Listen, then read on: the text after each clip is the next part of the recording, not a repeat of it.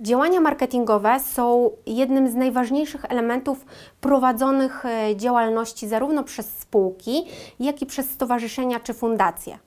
Warto, aby były one należycie przygotowane na kontrolę, którą może przeprowadzić w naszej jednostce prezes Urzędu Ochrony Danych Osobowych. Co zrobić, aby należycie przygotować dział marketingu do prowadzonych kontroli? W szczególności należy zacząć od tego, skąd mamy bazy, do których te działania marketingowe kierujemy. Skąd są dane osobowe, z których korzystamy dla tego celu. Jeżeli ustalimy skąd mamy dane, a tym samym jaka jest podstawa prawna przetwarzania i mamy pewność, że rzeczywiście ta podstawa prawna jest zgodna z przepisami RODO, a przypomnijmy, rozporządzenie ogólne dopuszcza przetwarzanie danych osobowych w celach marketingowych na podstawie tak zwanego prawnie uzasadnionego interesu administratora, to nie możemy zapominać, że marketing jest regulowany także przez inne przepisy prawa, jak chociażby prawo telekomunikacyjne i ustawa o świadczeniu usług drogą elektroniczną, które to dwa akty prawne mają obok RODO bardzo daleko idące znaczenie, jeśli chodzi o ocenę, czy prowadzimy działania zgodnie z przepisami prawa. I w kolejności prawo telekomunikacyjne wskazuje, że aby prowadzić działania marketingowe z wykorzystaniem tak zwanych telekomunikacyjnych urządzeń końcowych, czyli mówiąc potocznie telefonu, SMS-a, MMS-a, potrzebujemy na takie działania uzyskać uprzednią zgodę osoby, do której te działania będziemy kierować. Tym miejscu należy wskazać, że zgoda uprzednia to jest, proszę Państwa, zgoda, którą musimy uzyskać, zanim podejmiemy działania marketingowe skierowane do, do takiej osoby. Nie zgoda, którą pozyskujemy po nawiązaniu już połączenia telefonicznego. Drugim aktem prawnym, który ma zasadnicze znaczenie, jest właśnie ustawa o świadczeniu usług drogą elektroniczną. Pamiętajmy, że na jej mocy, jeżeli kierujemy działania marketingowe z wykorzystaniem adresu mailowego do naszych usługobiorców, to także potrzebujemy pozyskać na to uprzednią y, zgodę. Tutaj ten akt prawny przewiduje dla nas pewne ułatwienie, bo dopuszcza wyrażenie tej zgody poprzez podanie adresu mailowego.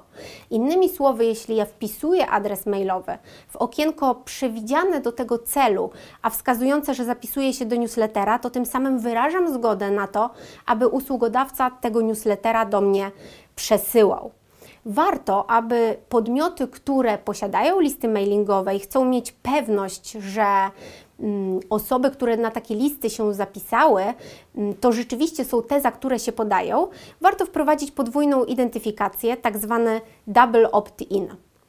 Jeżeli prowadzimy działania marketingowe, to aby zapewnić ich już całkowitą zgodność z prawem, warto dopilnować także kilku innych kwestii, które są ważne z punktu widzenia RODO, jak i w ogóle prowadzonych działań marketingowych. W szczególności pamiętajmy, że marketing jest sensowny tylko wtedy, kiedy jest kierowany do osób, które rzeczywiście tego chcą. Oczekują tych działań marketingowych ze strony przedsiębiorcy, fundacji lub stowarzyszenia. Oznacza to, że działania marketingowe powinny być działaniami dobrowolnymi, niewymuszonymi.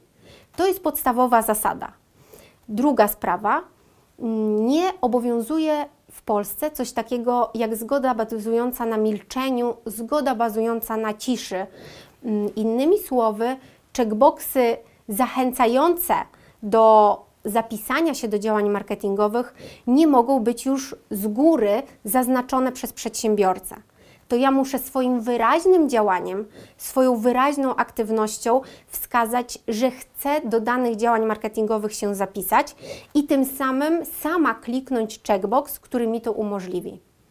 Co ważne, zgodę czy chęć brania udziału w działaniach marketingowych mogę w każdej chwili wycofać. W każdej chwili mogę wycofać zgodę na wykorzystanie środków komunikacji elektronicznej, za pomocą których działanie marketingowe jest do mnie kierowane, lub złożyć sprzeciw co do przetwarzania moich danych osobowych w celach marketingowych. Mam do tego prawo i trudno przyjąć, że przedsiębiorca, fundacja czy stowarzyszenie, które takie działania marketingowe świadczą, mogłaby mi odmówić i wskazać, że dalej na tej liście mailingowej będę, y, mój adres będzie zamieszczony, pomimo tego, że ja sobie tego nie życzę. Zgodę mogę wycofać w każdym czasie, nie muszę się z tego tłumaczyć, wystarczy, że jednorazowo powiem nie, dziękuję, więcej nie chcę.